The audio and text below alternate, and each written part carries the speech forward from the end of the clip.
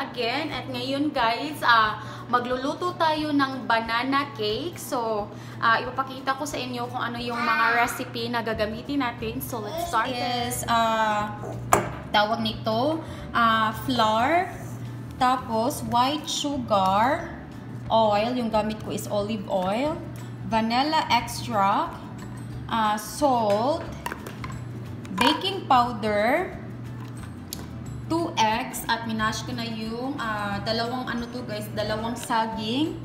And yeah, yun lang yung ano natin guys, recipe natin. Sisimulan na natin ang ating pagluluto. Mag-beat muna tayo ng egg. Dalawang egg yung gamit natin. Nag-try na ako nito noon guys, pero ano, gusto ko kumain na naman ng uh, banana cake. So, dalawang egg.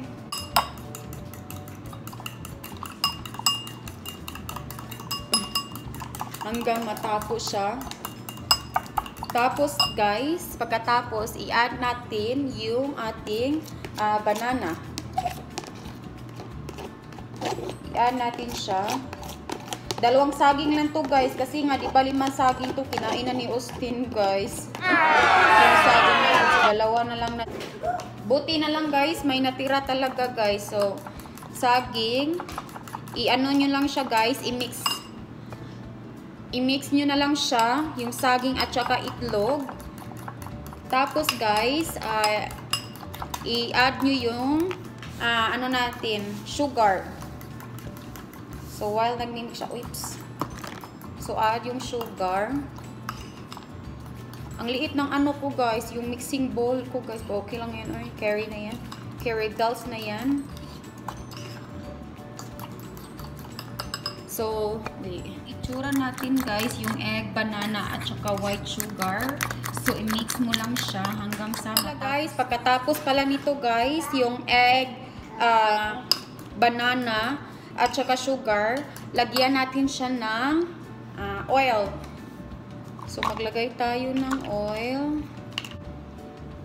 Para maging ano siya guys, moist na siya yung ano natin. Uh, banana cake natin.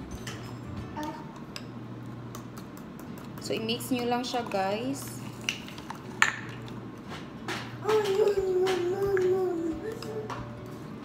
Mix nyo lang siya. Uy, uh, gusto ko pa siya lagyan ng oil. Para ano talaga guys ba, moist talaga yung ano natin uh, tawag dito, yung banana cake natin maya-maya. So, ganyan na siya guys. Tapos guys, uh, i-combine natin dito yung uh, salt. Combine natin yung salt. Tapos, uh, baking soda. Tansya ko pa siya, ba't tinatansya talaga? So, siguro the next video, isasabihin ko na sa inyo yung uh, mga measurement measurement niya. So, vanilla extra extra So, ihalo nyo lang siya, guys.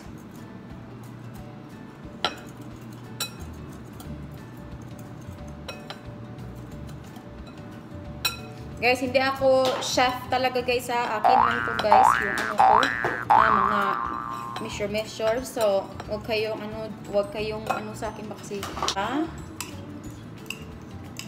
Yung ano nito uh, banana. Tapos uh, sugar. Dalawang egg yung gamit natin. Hika! I-mix nyo lang siya guys hanggang sa matapos kayo. Parang okay naman to. Wala na tayong kulang na ingredients.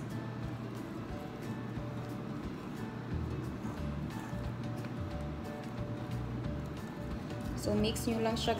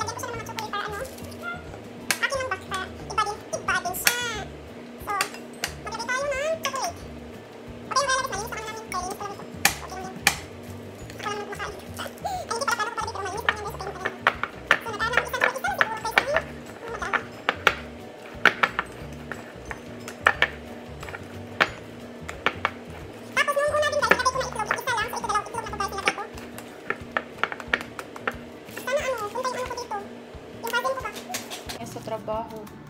So, hindi siya makakapunta.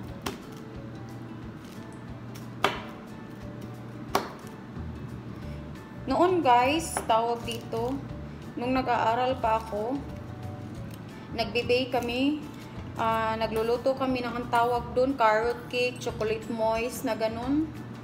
Ano, tawag dito. Hirap kasi nga, pag wala kang ano ba, gamit sa bahay mo, hindi mo ma-practice-practice yung ano ba, proce- pro- procedure ba. Tapos parang final pa namin yun. So, yes. Yun na yan.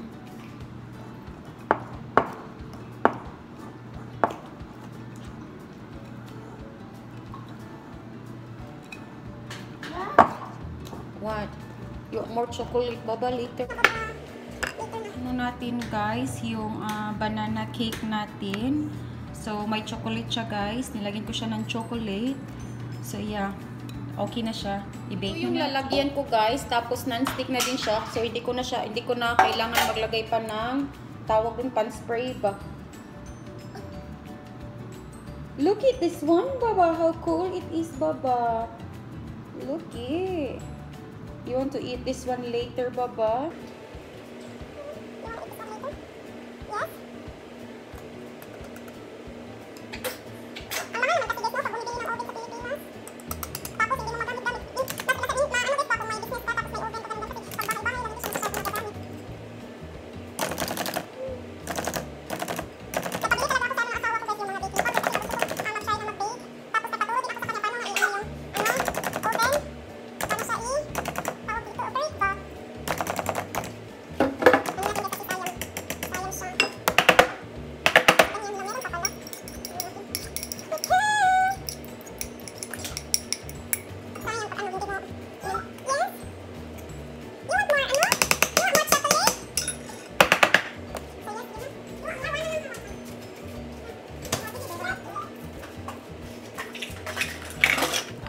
Ano guys, banana cake na may chocolate. So yeah, hintayin lang natin na maluto siya. Siya guys, so ilagay na natin yung ating banana cake.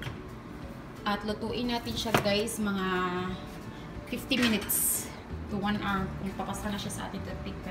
Uh, test. So, yan.